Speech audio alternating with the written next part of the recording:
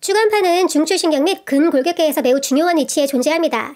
그러나 이렇게 중요한 기능들로 우리의 육체적 활동에 막대한 영향을 미치는 추간판이 교통사고의 외력에 의해서 돌출이나 파열 등의 질환으로 발생하는 경우가 있으니 이를 명칭하여 추간판 탈출증, 일명 디스크라 부릅니다. 그런데 이러한 디스크 파열이 허리 쪽에 발생한 경우 합의금을 제대로 받을 수 있는 것인지 항상 논란으로 분쟁이 유발되는 이유는 무엇일까요? 또한 교통사고 보상 처리를 정당하게 받기 위해서는 어떻게 해야 할지에 대해 알아보는 시간을 가져보겠습니다. 구독, 좋아요, 알람 설정 부탁드릴게요.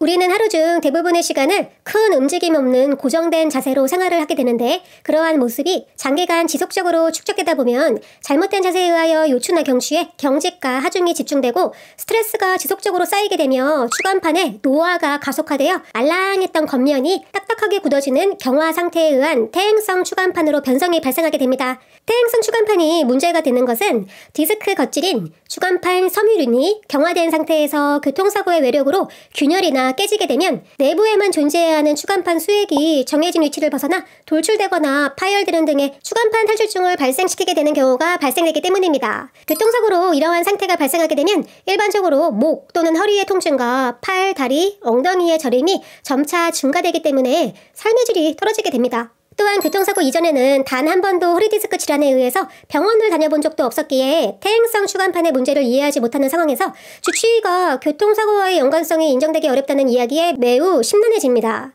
더불어 보험사의 대인배상 담당자가 제시하는 허리디스크 합의금 이야기 중 퇴행성이기에 인정될 부분이 없다며 요추염자나 경추염자 및 타박상 정도의 환자로만 취급하는 것에 분노를 느끼게 됩니다.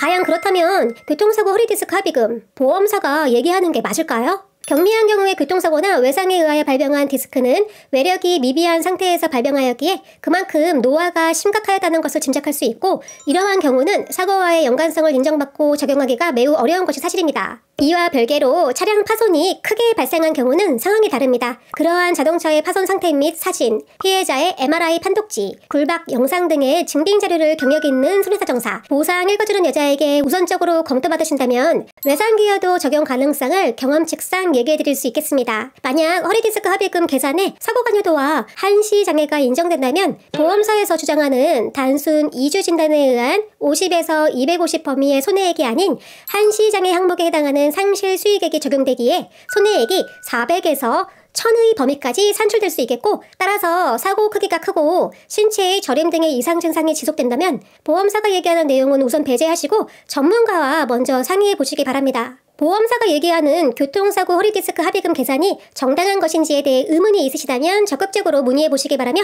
이를 위해서는 사고 차량의 파손 상태 사진과 피해자분의 MRI 판독지 등을 기본적으로 준비해 주신 뒤 하단에 있는 상담 창구를 이용하셔서 무료 상담 받아보시기 바랍니다.